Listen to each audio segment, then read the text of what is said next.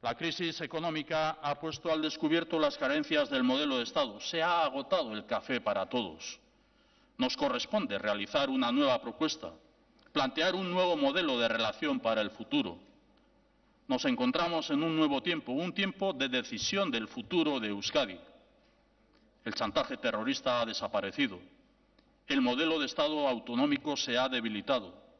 El marco europeo ha cambiado. Formamos parte del euro y del sistema financiero europeo, un sistema que reconoce nuestro modelo genuino de concierto económico la realidad social, económica, político, institucional en nuestro entorno es diferente a la del pasado reciente y es cambiante. Nuestra propuesta es aprovechar este reconocimiento como una oportunidad. La oportunidad de actualizar nuestro estatus de autogobierno sobre una base acordada.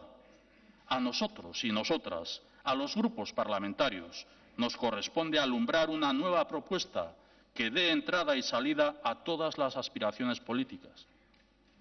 Propongo abordar este reto tomando como base tres principios. El principio de la pluralidad. La participación de todos los grupos parlamentarios garantiza este principio.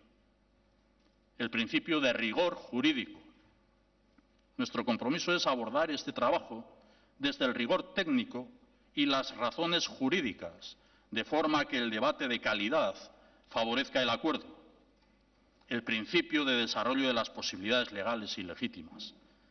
La insatisfacción con nuestro nivel de autogobierno tiene menos que ver con la, literalidad de los textos y más con un desarrollo que no ha estado a la altura de las expectativas de bilateralidad e imparcialidad.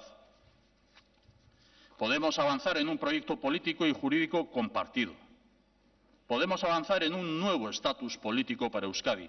Este es el lugar y este es el momento. El procedimiento de trabajo requiere altura de miras, requiere un análisis sosegado y sopesado de todas nuestras aspiraciones desde el respeto y la reciprocidad en un proceso equitativo.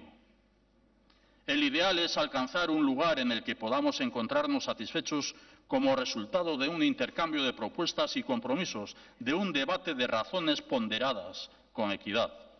Este es el reto que propongo en esta Cámara representativa. Esta es nuestra oportunidad. Creo en el acuerdo entre diferentes. Creo que ese acuerdo se debe acometer aquí. Creo que se puede sustanciar en esta legislatura. Mi compromiso y el compromiso del Gobierno es propiciar el clima favorable, fomentar el trabajo conjunto para que seamos capaces de articular una nueva propuesta de futuro político para Euskadi.